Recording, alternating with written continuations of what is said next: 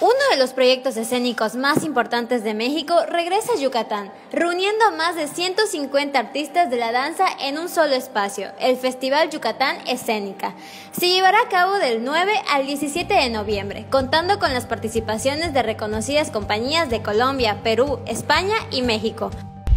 Nosotros como artistas, como profesionales tenemos que seguir, continuar nuestra tarea y aquí estamos. Entonces, eh, les invito que como medios nos acompañen, compartan, eh, nos visiten por Facebook, por eh, Instagram, por nuestra página web. Se contará con una variada programación, desde presentaciones en la sede de Conservatorio de Danza y centros culturales, así como también talleres y un cierre de cartelera en el Teatro José Peón Contreras.